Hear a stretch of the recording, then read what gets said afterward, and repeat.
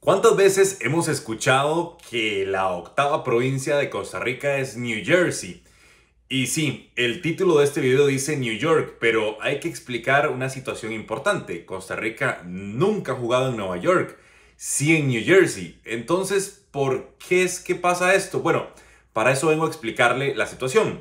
Además del fondo del video, ¿cuántas veces ha jugado Costa Rica en New Jersey? Cuántas veces ha ganado y si realmente la octava provincia le funciona como un buen lugar para sacar resultados. Bueno, para eso estamos aquí. Antes quiero invitarlo a que se suscriba al canal aquí abajo activando la campana y puede dejar sus comentarios, puede compartirlo también y por supuesto que cualquier interacción es bienvenida en este canal. Así que sin mucha espera, expliquemos primero cuál es la diferencia entre New York y New Jersey y cómo le ha ido a Costa Rica jugando en dicho lugar.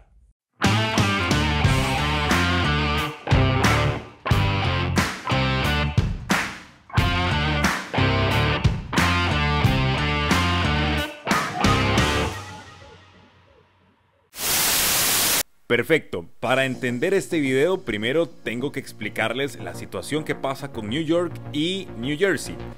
New York es un estado y New Jersey es otro estado, separados por el río Hudson. Costa Rica nunca ha jugado en New York porque ahí no hay estadio de fútbol. O bueno, sí hay el Yankee Stadium y el City Field, pero son de béisbol. Realmente los estadios de fútbol están del otro lado, en East Rutherford, que es al norte de New Jersey, y en Harrison, que es al sur de New Jersey. Primero vamos a repasar los partidos en East Rutherford, que han sido dos.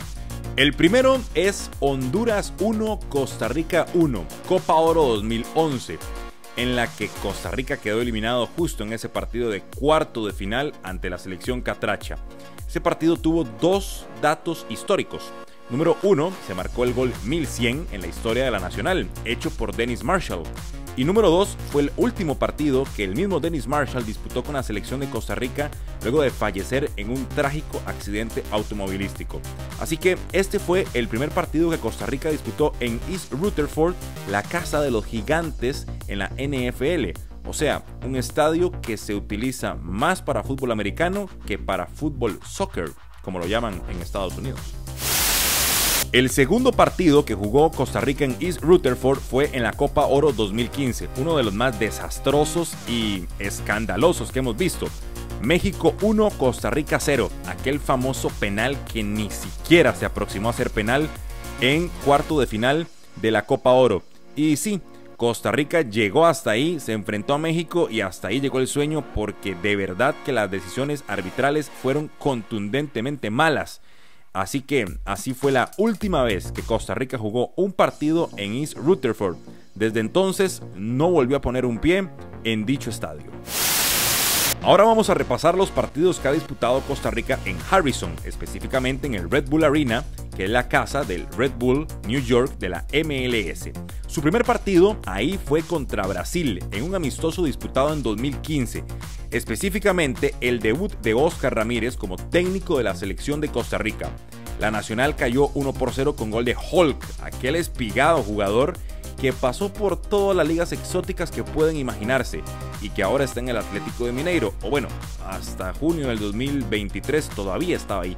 Pero bueno, hay que destacar que este fue el primer partido que en Harrison, New Jersey tuvo Costa Rica oficialmente con el Red Bull Arena. El segundo partido que tuvo Costa Rica en Harrison fue Estados Unidos 0, Costa Rica 1, un amistoso en 2015 igualmente, dirigidos por Oscar Ramírez, que triunfó con un gol de Joel Campbell. Ahora bien, aquí parece que la serie se empata, ¿no? Un partido perdido, un partido empatado. Y comenzará una seguidilla importante de Costa Rica, que luego se convirtió en algo terrible para el olvido. Pero bueno, este partido había que incluirlo como el segundo que se disputó oficialmente en Harrison, New Jersey. Como se lo mencioné al inicio del video, puede activar la campana aquí abajo. La intención es que los suscriptores sigan creciendo y algún día llegar a nuestra primera meta, 100 mil suscriptores. Para eso, muy fácil, cliquear aquí abajo, activar la campana y compartir el video para que se haga más grande, así como también comentar, darle me gusta y todas las interacciones posibles. Aquí abajo lo puede hacer. Nuevamente, de la mano de Oscar Ramírez, Costa Rica volvió a Harrison, New Jersey, al Red Bull, a enfrentarse a Honduras en la Copa Oro 2017. Y vaya que le fue bien porque le alcanzó con un 1 por 0 con gol de Marc Ureña para derrotar a la H, que en ese momento tenía un buen equipo y que también estaba soñando con ir a la Copa del Mundo de Rusia 2018 un año más tarde. Pero bueno, Costa Rica logró salir avante, ese gol de Marco Ureña fue suficiente y ya acumulaba su segunda victoria luego de tres partidos en New Jersey. La octava provincia estaba sacando buen fruto y provecho. Sin duda alguna, el partido más importante que ha tenido Costa Rica en New Jersey fue en la eliminatoria rumbo al Mundial de Rusia 2018. Costa Rica venció 2 por 0 a Estados Unidos. Pero la gran pregunta que siempre he tenido es, si Estados Unidos posee 51 estados, ¿por qué carajo decidió jugar en la provincia costarricense prácticamente? Pudo haber jugado en Columbus, pudo haber jugado en Kansas City, pudo haber jugado en Cincinnati, pudo haber jugado en Ohio, donde fuese. Pero decidió llevarse a Costa Rica New Jersey. Y obvio que le pasó factura, prácticamente jugó de visitante y un doblete de Marc Ureña hizo que Costa Rica se acercara muchísimo más al Mundial de Rusia 2018, mismo en el que los resultados no fueron los esperados, ni siquiera parecidos a los de la eliminatoria. ¿Les gustaron los triunfos de Costa Rica en New Jersey? Bueno, hasta ahí llegaron, hasta el punto anterior, porque lo demás ha sido debacle completa.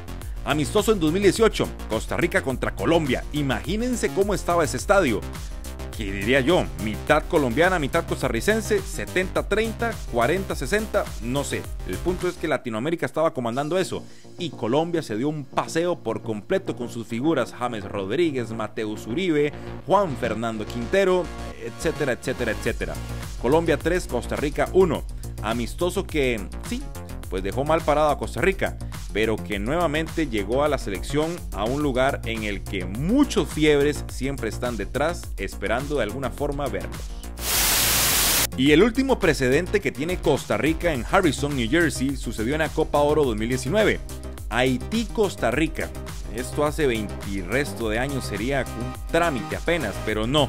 Haití 2, Costa Rica 1 de la mano de Gustavo Matosas. Eh, sí, el aburrido. Por cierto, hay un video muy importante que pueden ver en nuestro canal de qué pasó con el aburrido Gustavo Matosas. Y también otro de los peores técnicos de Costa Rica. Pero esa es otra historia.